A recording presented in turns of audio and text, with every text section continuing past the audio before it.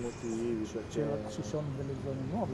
Desta preoccupazione ai residenti di via 26esima strada a Bellocchi un tombino ai margini della carreggiata che ha ceduto, creando un grosso buco nella sede stradale, pericoloso anche per la presenza dei tondini in ferro che sono rimasti scoperti dal cemento già da diverse settimane. Finirci sopra per un pedone o per una bicicletta rappresenta un serio pericolo e questa evenienza, data la posizione particolare di questo tombino proprio sopra un passaggio pedonale e a margine della carreggiata, spazio solitamente utilizzato dalle due ruote, non è poi così remota.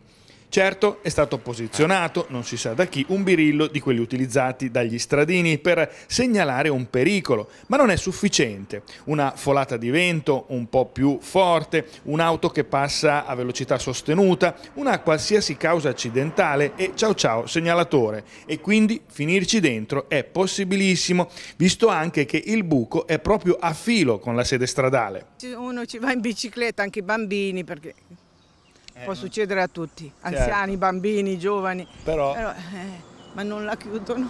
E voi un po' l'avete detto a qualcuno? No. no. Però un po' che è così, da quant'è? Ah, ehm, adesso non le saprei dire, è un po' sì. È un po'. Ma è pericolosa, ci hanno messo quello, ma non è che...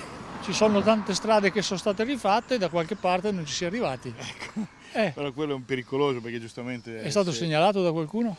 Eh, a noi ci, ci, avete avvertito voi e siamo venuti a vedere. Eh, ma voi, eh, siete stati avvertiti voi, ma non è stato avvertito il comune? Questo non, è questo che... non lo so, bisogna dirlo. Ah, bisogna dirlo, lo faccio subito. I residenti approfittano questa mattina della nostra presenza anche per perorare, oltre ad un rapidissimo intervento del comune a questo riguardo, anche le esigenze della comunità bellocchiana sulla viabilità ci sarebbe molto ancora da fare, via 26esima strada è un'arteria di grande comunicazione ma finisce in una strettoria, ora che via prima strada è diventata a senso unico servirebbe un collegamento migliore e poi vedrebbero di buon occhio la realizzazione di una scuola media nel quartiere che servirebbe non solo agli oltre 200 studenti che quotidianamente si spostano verso gli istituti secondari eh, più in centro in città ma anche per le zone nell'immediato entroterra, come Cucurano e magari Carrara.